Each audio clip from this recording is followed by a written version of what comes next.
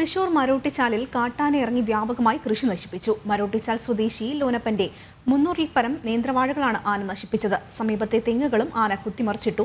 നിരന്തരമുള്ള വന്യമൃഗശല്യത്തെ തുടർന്ന് കൃഷി ഉപേക്ഷിക്കേണ്ട അവസ്ഥയിലാണെന്ന് പ്രദേശത്തെ കർഷകൻ പറയുന്നു.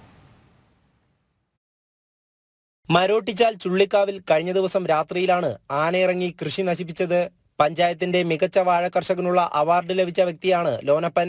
ലോനപ്പൻ കൃഷി ചെയ്ത ആറുമാസം പ്രായം വരുന്ന തേനീനത്തിൽപ്പെട്ട മുന്നൂറിൽ പരം നേന്ത്രവാഴകളാണ് ആന ഒറ്റ രാത്രി കൊണ്ട് ചവിട്ടിമെതിച്ചത് ഇതോടെ കർഷകന് കടുത്ത സാമ്പത്തിക നഷ്ടവുമുണ്ടായി.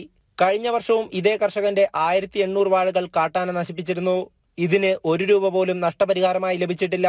ഇത്തവണയും നഷ്ടപരിഹാരം ലഭിച്ചില്ലെങ്കിൽ ആത്മഹത്യ ചെയ്യേണ്ട അവസ്ഥയാണെന്നും ലോനപ്പൻ വ്യക്തമാക്കി. വന്യമൃഗശല്യം തടയാൻ സമീപത്തു തന്നെ വൈദ്യുത വേലിയുണ്ടെങ്കിലും അത് കൃത്യമായി പ്രവർത്തിക്കുന്നില്ല. ഇപ്പോൾ ആനശല്യത്തിൽ നിന്നും രക്ഷ നേടാൻ ആകെയുള്ള ആശ്രയം പടക്കം പൊട്ടിക്കൽ മാത്രമാണ്.